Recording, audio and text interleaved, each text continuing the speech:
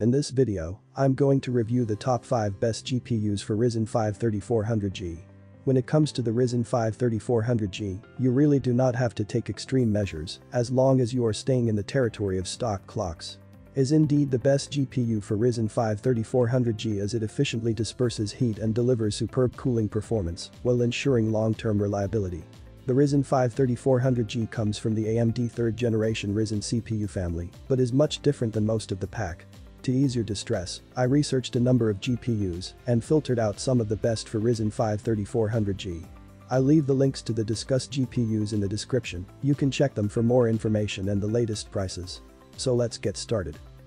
At number 1 it is Zotac Gaming GeForce GTX 1660 Ti. The Zotac GeForce GTX 1660 Ti is an intermediate graphics card with 1536 shader units and 6GB of GDDR6 VRAM.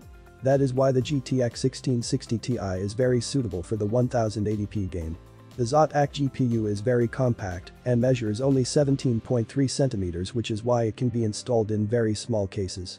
Zotac's GeForce GTX 1660 Ti twin fan complies with NVIDIA specifications for the GTX 1660 Ti, which means Zotac has chosen not to exceed this model, which is our best GPU for Ryzen 5 3400G therefore, the maximum stabilization clock is up to 1770 MHz, while some GTX 1660 Ti models can raise their basic clocks higher than 1800 MHz.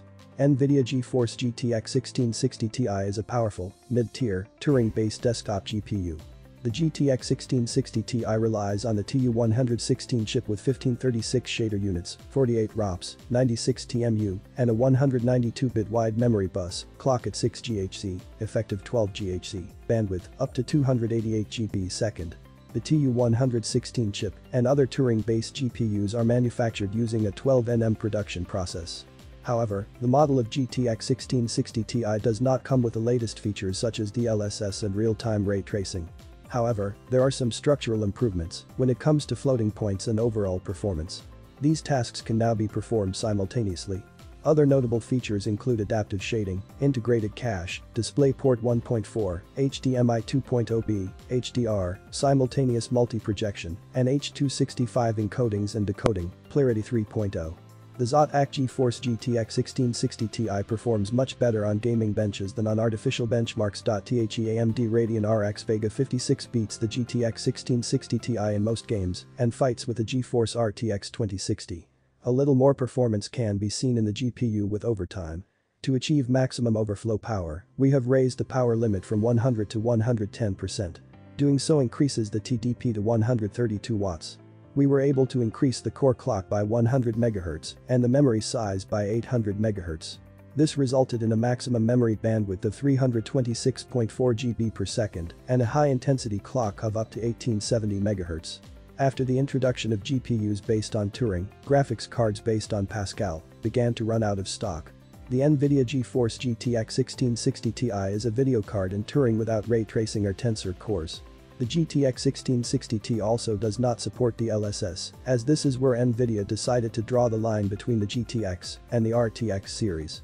We received a GPU sample from our partners Zotac because Nvidia does not produce its version of the GPU under its Founders Edition version. At number 2 it is ASUS Dual NVIDIA GeForce RTX 2060 Super Evo. ASUS Dual RTX 2060 Super O8G Evo is the third ASUS of NVIDIA's RTX 2060 Super, an upgraded version of the original RTX 2060, which is the best GPU for Ryzen 5 3400G coming behind the new Radeon RX 5700 and AMD's Radeon RX 5700 TX. The new RTX 2060 Super feels very much like a response from NVIDIA, which may be taken by the excellent price offered by a new Navi-based graphics processor. The ASUS Dual RTX 2060 Super O8G Evo does not compare well with the AMD Radeon RX 5700, and all RTX 2060 Super cards will compete with it. Well these statistics will be subject to the games you play and the rig you use on the GPU, both supporting and boost clock speeds are higher on the AMD Radeon RX 5700. The very first thing to indicate is that the Asus Dual RTX 2060 Super Evo is bulky. It measures 267 by 118 by 58 mm and features a chunky aluminum backplate designed to help set up the main circuit board, tracking channels, and other valuable features in transformation and breakdown.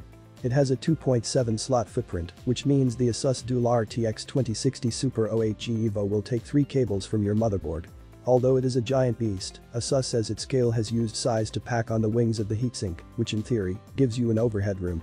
Speaking of overcrowding and cooling, the Asus Dual RTX 2060 Super OHE Evo features two axial tech fans, with longer fan pages than previous designs to help keep everything cool. The RTX 2060 Super card is designed to play games with QHD 1440p resolution settings.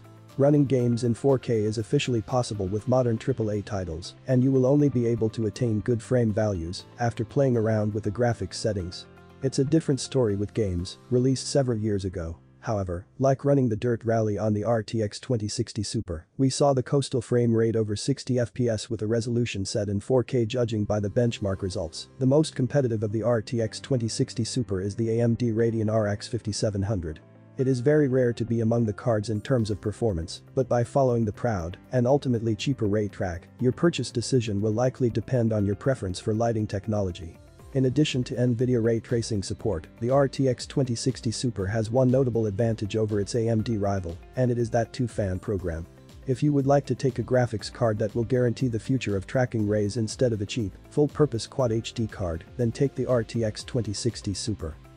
At number 3 it is XFX RX 5700 XT RAW 2HGB. At the first entry in the list, we have the XFX RX 5700 XT RAW 2. Seeing as XFX is known for its long period cards and economical prices, it makes sense that one of the cheapest RX 5700 XT models could come from them. First of all, you may notice that XFX has updated its design, which is pretty good considering that their RX 400 and RX 500 series look cheap and not very attractive. The RAW 2 removes the gaudy highlights and features a completely black cover that blends well with the stainless steel back. To our knowledge, this design works very well and is much better than what XFX should have provided in the past. As for my override settings we mentioned earlier, the performance here jumps by about 5%, so nothing is too exciting, as we're all already used to seeing that with Navi 10 GPUs, but we've been able to pull power consumption down a bit by about 10 to 20 W because the card was also not allowed in that case. Like we said, fans run on the faster side than we usually see in the RX 5700 XT and RX 5700 graphics card reviews, so the acoustics are not so bad, but also not so bad. We also see fans running between 1600 and 1800 RPMs, especially. As for the performance of the game, we should note that the XFX RX 5700 XT RAW 2 is not overly functional, so it has the same core and improves clock speed as an indicator of AMD. However, the XFX version offers slightly better performance due to dual open-air cooling, which is a much better solution than a hot GPU running like this. That means, if you're trying to make the RX 5700 XT fit your budget and don't overdo it extremely, then this could be the right card for you. At number 4 it is EVGA GeForce RTX 2070 Super. The new NVIDIA GeForce RTX GPU restored graphics and set a new performance bar enabled new NVIDIA Turing GPU and NVIDIA RTX platform, new graphics cards that include real-time tracking, artificial intelligence, and scheduled shading. This is not the only new way to hear games, this is the ultimate PC gaming experience. The front panel of the card includes various effects.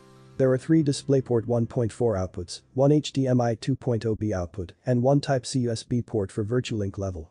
The RTX 2070 Super is not limited to high performance. Powerful computer programs can use GPU's 2560 cores to speed up operations using CUDA or other APIs.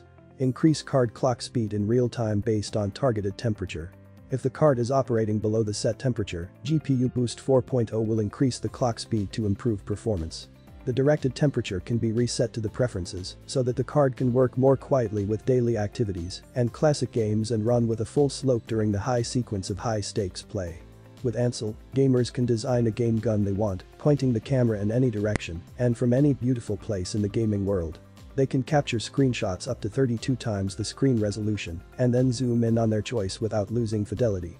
With photo filters, they can add effects in real time before taking a photo. They can also capture 360 degree stereo photospheres for viewing on a VR headset or on Google Cardboard. The brain of ICX2, CX technology, detects temperatures in various locations on the graphics card and rescues asynchronous fans to provide optimal airflow for each card location.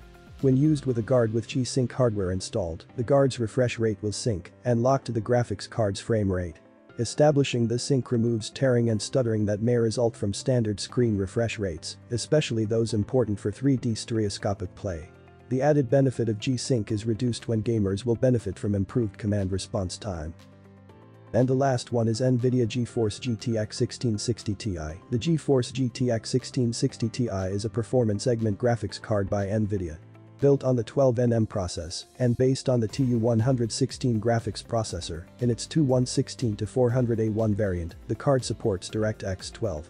This ensures that all modern games will run on GeForce GTX 1660 Ti. The TU116 graphics processor is an average-sized chip with a die area of 284 square millimeters and 6600 million transistors. It features 1536 shading units, 96 texture mapping units, and 48 ROPs. NVIDIA has paired 6GB GDDR6 memory with the GeForce GTX 1660 Ti, which are connected using a 192-bit memory interface. The GPU is operating at a frequency of 1500 MHz, which can be boosted up to 1770 MHz. Memory is running at 1500 MHz, 12 Gbps effective. Being a dual-slot card, the NVIDIA GeForce GTX 1660 Ti draws power from a 1x8-pin power connector, with a power draw rated at 120 watts maximum. Display outputs include 1x DVI, 1x HDMI, 1x DisplayPort, GeForce GTX 1660 Ti is connected to the rest of the system using a PCI Express 3.0 x 16 interface. The card's dimensions are 229mm by 111mm by 35mm and it features a dual-slot cooling solution. I have come to the end of my review. These all 5 are the best GPU for Ryzen 5 3400G for better performance. Now it's up to you which will meet your budget and requirements. In my opinion, if you want more performance, the max you should go with is the EVGA GeForce RTX 2070 Super. So you should try to balance everything as much as possible. Don't forget to subscribe our channel. Thanks for watching this video.